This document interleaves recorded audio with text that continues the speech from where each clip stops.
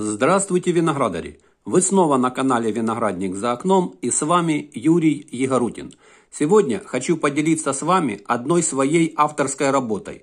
Практически это эксклюзивное укоренение черенков. Почему еще до сих пор до этого никто не додумался, не знаю. Но лично я не встречал такой информации. Речь пойдет о зеленом укоренении винограда.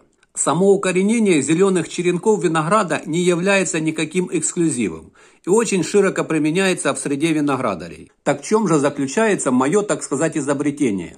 И сразу скажу, что такое укоренение не может и не должно быть основным. Его стоит применять только в особых случаях. Так когда же? Итак, следующая ситуация – вы приобрели черенки нужного вам сорта или гибридной формы. Возможно, даже это новинки, и они очень дорогие. Вы поставили их на укоренение, но, к вашему большому сожалению, они не укоренились. Прошел месяц, корней нет. Зеленые побеги вытягивают последнее питание из черенков. И что остается делать? Да, мы выбрасываем такие черенки и откладывается в душе какая-то горечь за неудачное укоренение и за потерянное время и финансы. Так вот, в этот момент я предлагаю не выбрасывать такие черенки, а отломать зеленые побеги и продолжить укоренять уже их. Вот в этом и будет заключаться вот та самая новизна этого укоренения винограда. Я, конечно, мог бы, как заправский шабашник, схалтурить, взять зеленый черенок, бросить его в банку с водой и сказать «делайте так, и будет вам счастье». А затем все это выбросить в мусор и забыть. И никакого мне нет дела до того, работает этот способ, либо не работает. Показал и с глаз долой. А вы бы попробовали, и у вас опять ничего бы не получилось. А это снова время и снова разочарование. Но я стараюсь все свои опыты доводить до логического завершения. И этот не исключение. И в этом ролике я покажу все это укоренение от зеленых побегов, которые я отломал, до получения готовых, вполне пригодных для дальнейшего выращивания саженцев. То есть будет показан полностью весь цикл, который можно повторить. И чтобы немножко вас заинтересовать, на экране перед вами вы видите как раз результат такого необычного укоренения. То есть способ, который я вам предлагаю, рабочий. Но есть некоторые моменты, на которые я бы хотел обратить ваше внимание, и без знания которых у вас может ничего не получиться. В конце ролика я еще достану эти саженцы из этого контейнера, и мы еще и рассмотрим их корневую систему. А поэтому не перематывайте этот ролик, досмотрите его до конца, устраивайтесь поудобнее и не забудьте в конце ролика отблагодарить меня подпиской, лайком и комментарием. Ведь на этот опыт у меня ушло почти 6 месяцев. Итак, начнем. Предположим, мы укоренили черенки. И по какой-то причине, например, как в моем случае, 10 черенков в правой части экрана абсолютно не укоренились. И уже, скорее всего, не укоренятся. Что мы делаем? Мы, во-первых, даем возможность вырасти зеленым побегом. Они должны вытянуть все питание из этих черенков и длина их должна составлять хотя бы 8-10 сантиметров. Меньше, скорее всего, нет смысла даже пробовать.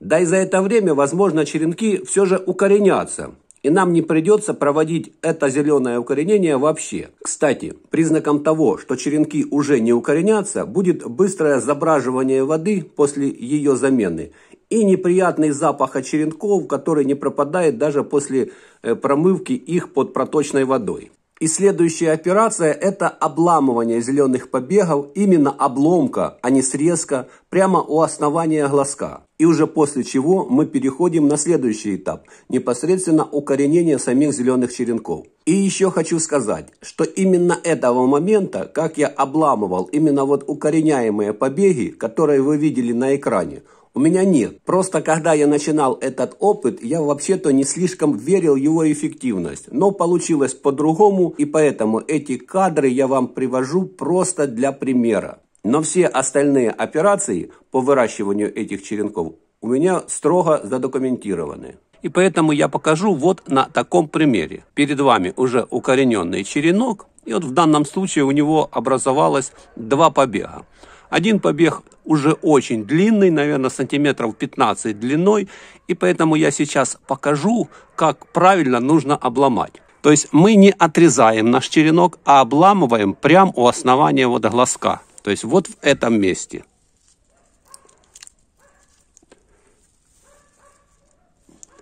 Я обломал. Вот этот саженец мне уже не нужен. Итак, мы обломали наш зеленый побег. И в основании у нас получилась вот такая своеобразная пяточка. И вот это самый лучший вариант для укоренения. То есть укореняться будет именно вот эта часть. Если же вы захотите обрезать этот зеленый побег, то не нужно делать вот посредине междоузлия. То есть у нас следующий узел, ну, скорее всего, что вот он, правда, он не слишком так выражен, а следующий здесь. То есть нам либо отрезать вот в этом месте, 3 мм ниже узла, либо 3 мм ниже этого узла. Не стоит обрезать посередине междоузлия, тогда укоренение будет гораздо хуже. Следующая операция, мы вот такой черенок, зеленый черенок, либо несколько зеленых черенков устанавливаем в пол-литровый одноразовый стакан. Берем вот такой стакан, Смотрите, там всего лишь 8 миллиметров воды, буквально всего ничего. Нижнюю часть закрываем непрозрачным материалом, чтобы меньше попадало света в зону корней. Ну, по крайней мере, прямых солнечных лучей, если мы поставим вот этот контейнер на окно, чтобы не попадали. Хотя есть разные мнения по влиянию солнечного света именно на укоренение, но я делал так. И в этот стакан вот опускаем таким образом наш зеленый черенок. Либо несколько зеленых черенков. Но в таком состоянии оставлять его не стоит. Сверху нужно накрыть каким-нибудь парничком. И наша конструкция для укоренения будет выглядеть вот таким образом. Можно, конечно, закрепить этот верхний стакан, чтобы он не упал. Ну, в принципе, можно и так. Воду менять можно раз в три дня, раз в два дня. Ну, просто смотрим на саму эту воду, в каком она состоянии. Она должна быть прозрачной, не мутнеть, и не иметь запаха. Проветривать не обязательно, вот там остается небольшое отверстие, воздуха там будет достаточно. Вода потихоньку испаряется, затем она конденсируется на верхнем вот этом стакане, и внутри будет немножко повышенная влажность. На эти моменты прошу обратить ваше внимание, а на следующих кадрах вы уже увидите настоящее укоренение черенков. Эти черенки простояли на окне около 20 дней – я, наверное, два раза менял в воду, пару раз добавлял чистую воду. Если честно, то я даже не надеялся, а потому и не снимал этот процесс. И даже в первой части у меня другие черенки показаны. Перед вами первый черенок.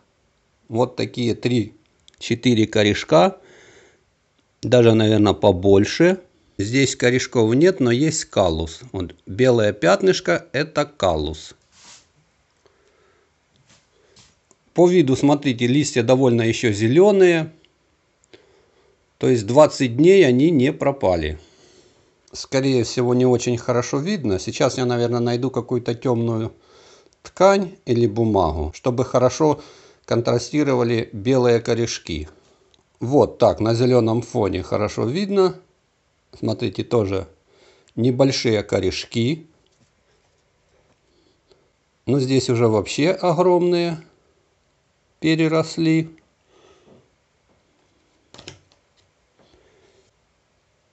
И даже вот такой маленький череночек укоренился. Корни абсолютно белые, пока еще никаких признаков гибели я не вижу, и поэтому сегодня я пересажу эти черенки в контейнеры с грунтом. Произвел посадку, по два штуки в один стакан, полил водичкой. Грунт я использую для рассады, нейтральный, универсальный. Сверху будут накрыты эти стаканчики другим стаканом вот таким. То есть будет своеобразный парник, ну, по крайней мере, на первое время. Особое внимание нужно уделить именно грунту, особенно на первом этапе укоренения. Использовать лучше всего покупной грунт для рассады – Обычно он универсальный, не нужно на нем экономить. Этот грунт легкий, воздухопроницаемый.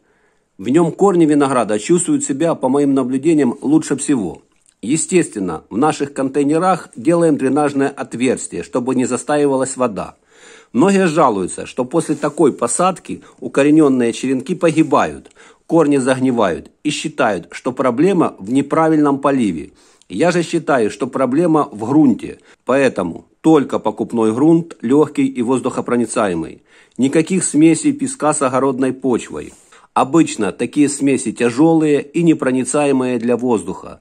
В них много задерживается воды, отсюда и загнивание. И очень трудно подобрать график поливов. Если вы собираетесь самостоятельно изготовить грунт для посадки, все равно придется покупать либо торф, либо еще какой похожий компонент. А поэтому не стоит экономить, особенно если вам нужно укоренить всего лишь несколько саженцев, просто приобретите этот грунт в магазине.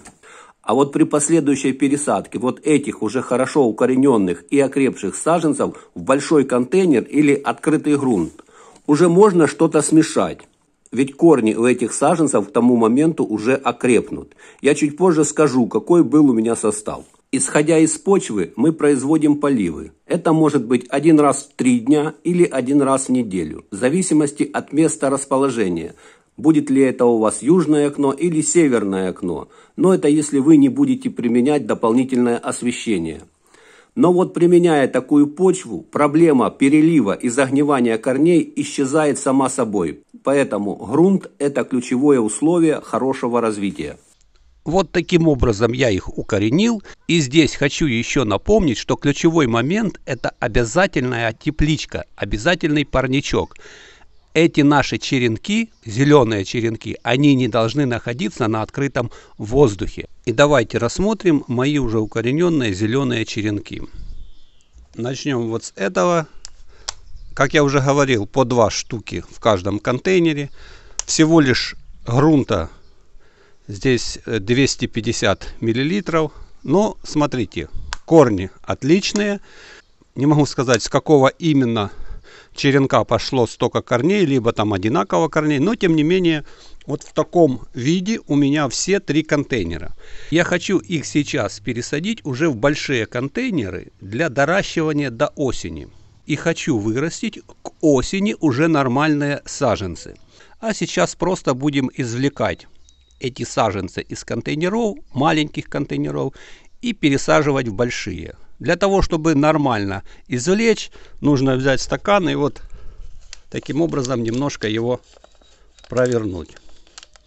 Аккуратно извлек все саженцы, почти не разрушил этот ком. Кстати, обратите внимание, что многие пишут, что загнивают корни. И вот уже этим саженцам практически около трех месяцев, наверное. Возможно, я ошибаюсь по срокам. Я использовал грунт для посадки рассады, ни с чем его не смешивал. Корни не загнили, прекрасного белого цвета, внизу вот они растут. И сейчас я буду их пересаживать в более крупный контейнер. Но перед пересадкой сделаю одну операцию. У меня прекрасный ком, не разрушенный, но обратите внимание, вот нижние корни, они переросли уже свой контейнер и они начали закручиваться.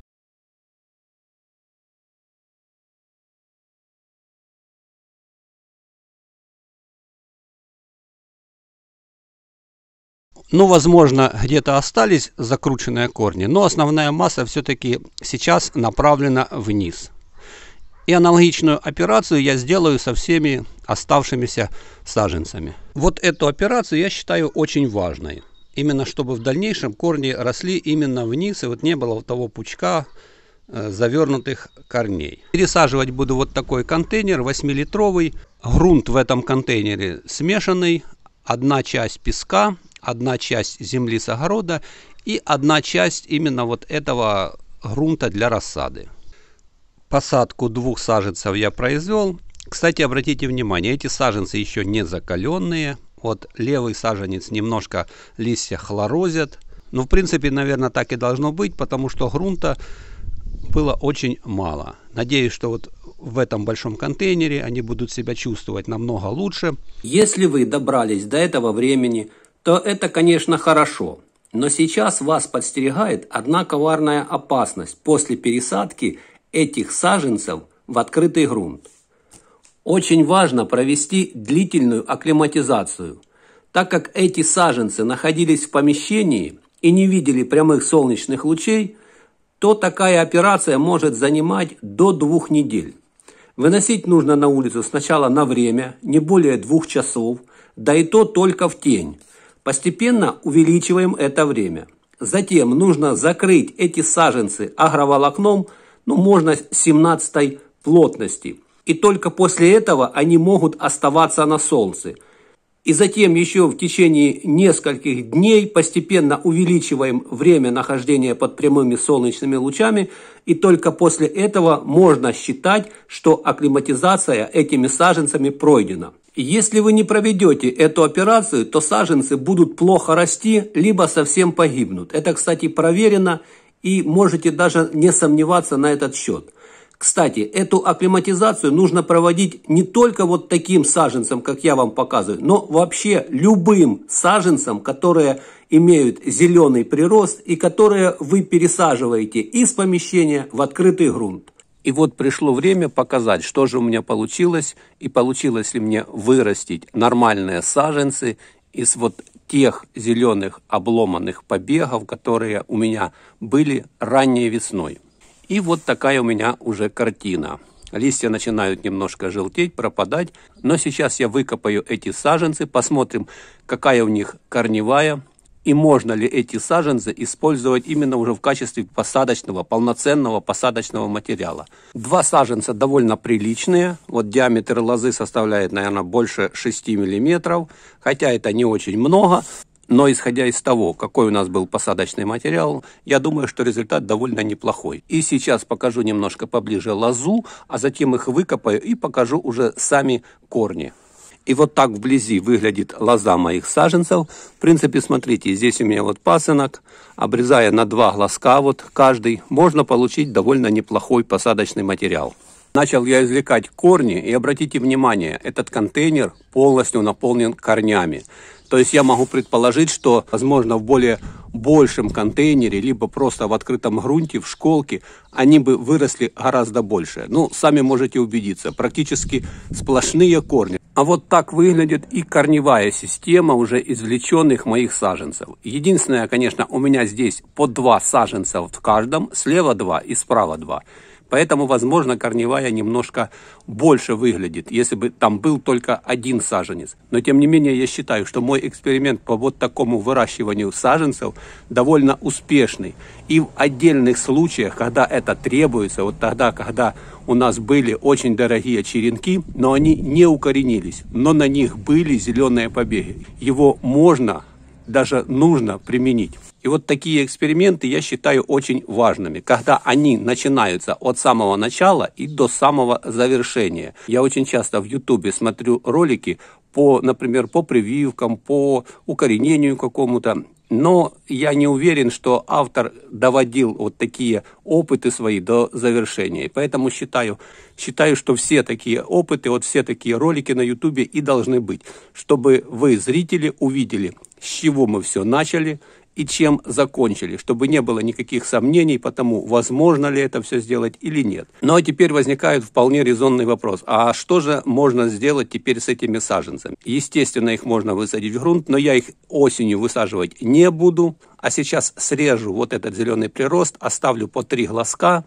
и отправлю в погреб на хранение. Вот такой интересный эксперимент. Эксперимент длиной почти что 8 месяцев я сегодня завершил. А с вами был Юрий Ягорутин. До скорой встречи, до свидания, пока.